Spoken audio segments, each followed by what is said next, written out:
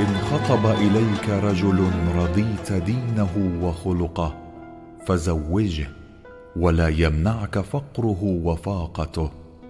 قال الله تعالى إن يكونوا فقراء يغنهم الله من فضله. الإمام علي بن موسى الرضا عليهما السلام.